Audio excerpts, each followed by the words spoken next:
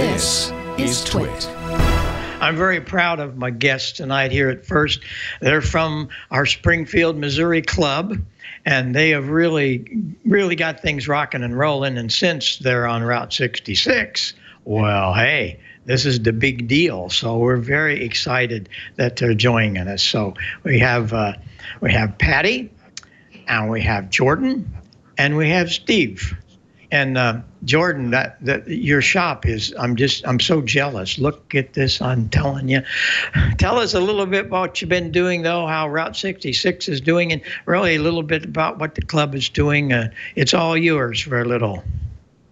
Well, you know, we appreciate uh, having us on here. Uh, we've been doing a lot of stuff with the club lately. Route 66 on the air obviously has taken off in a huge way. We've been out at the Gay Parita station here, uh, just off uh, or just on the old uh, Route 66. We uh, spent all weekend, Saturday and Sunday, doing contacts and stuff like that. There, got uh, just over 300 contacts logged in for Whiskey Six Romeo, and uh, of course, we came in here and started working from home. And man, we've just it's just been a big year all around. We're we're looking to get up there and get more contacts than we ever have, and be able to teach more people about what Route 66 Route 66 on the air is and what we're doing on the radio. So it's been been fantastic. But as you mentioned, the club also has been doing a lot of stuff too. So not only Route 66 on the air, which uh, Steve has head up with uh, Patty here, but we've been doing a lot of stuff within the club. Obviously, uh, we talked earlier about uh, doing tech days. We do every quarter here with the uh, tools of uh, destruction behind us on there. We get all the club members and people from Southwest Missouri area to here and kind of teach them how to take the radios apart, what they can do, teach them about the component level stuff and all that. So it's been very exciting. That's just been a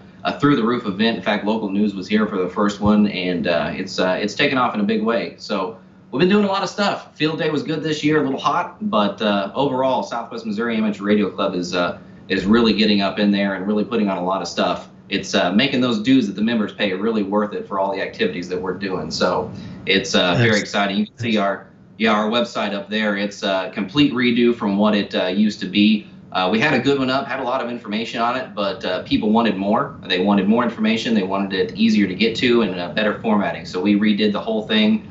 You've got information. That's a picture from Tech Day up there. You can see we've got a bunch of stuff on the bench there. Uh, people come out with their chairs, and uh, that's just the little nook area where we really do some of the work up there. There's probably another 20 people behind that. So it's a big event for a, an oversized two-car garage, but we make it work. So well, that's but, uh, that's really really good to hear that uh, you guys and gals are making some things happen there and from the club. You have some pictures of the Route 66 day. Uh, uh, let's run those, uh, Vic, and let them tell them uh, tell us what's going on here. They're fabulous pictures. Yeah, this is the old Route 66 road in front of the Gay Parita Sinclair station.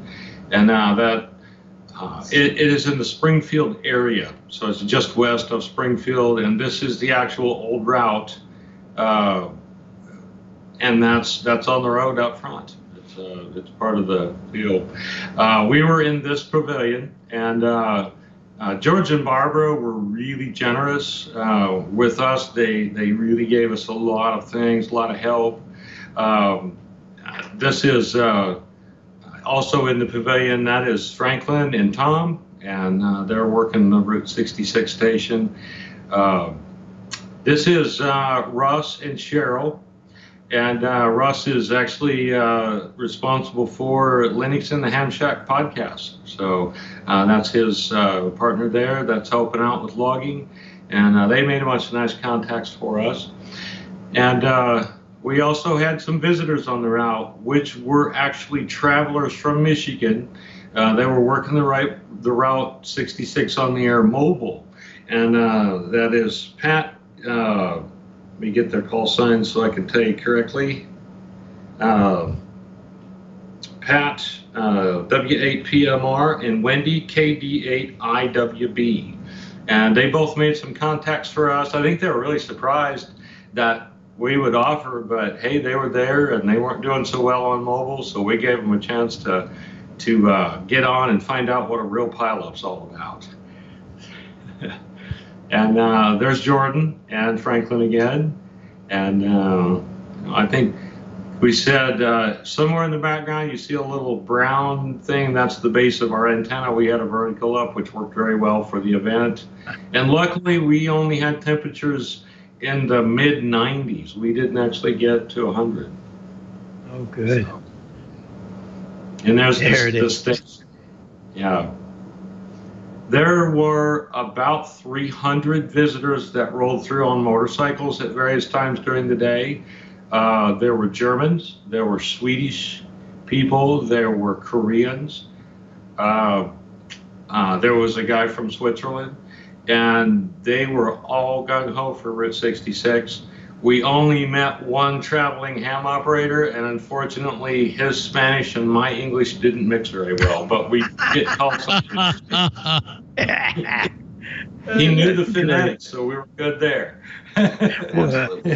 This those are just such great things and that station is really cool now uh, let me ask you this steve can you go in there and get gas for 15 cents no, and in fact, there's down the road about a mile and a half. There's another station, and they're also uh, in the gas war, and they are at 12 cents. So the Gay Parita station is losing the war. well we've got uh, we've got some things that uh, you'll be wanting to uh, get uh, by working w6r uh, this is one of the uh, of the QSLs, and that's an actual Route 66 motel, and it's beautiful. It's uh, they've kept it up all these decades, and it, the Rest Haven Court is uh, it's quite a thing in uh, Springfield. So if you ever get to Springfield, you'll want to stay here. Uh, there are several uh, several others. This is the other one. Elvis stayed at this one. I think you took that picture. I think Steve, but. That's They've it. got, the uh, Rail Haven, Best Western at St. Louis Street and Glenstone in Springfield. right in the heart of it. They have two 55 Fords that sit out there all the time. So those are the QSL cards that you will get. All that information is uh, on the uh, QRZ. Just put W6R, and you'll have all of the information of where to send your. Uh, your contact for a QSL card, and we're very thrilled that uh, the SMRC Club takes care of all that. Now, there are the frequencies that everybody's kind of working around, but they're not necessarily stuck there because uh, people move around because they fill them up. But most of the 66s, uh, you'll notice there's 3866 and there's uh, 7266 and so on. But uh, it, it is just one of the most fun things uh, in amateur radio. I've been working it for years, and when I finally uh, moved to Springfield and we weren't on the, I said, "What are you guys talking about? This is where Route 66 was born, right here, and uh, we can take you to the building where the telegraph was signed." But anyway. Uh, it's been fun. They finally uh, find a spot for us, and uh, everybody in the club really gets involved here. So, I thank you so very much uh, for doing all this, uh, Patty and Steve and Jordan. And we'll have to have you come back after all of it and give us some totals and see what's going on. Uh, you're going to be on right after the show, though. We can catch you somewhere.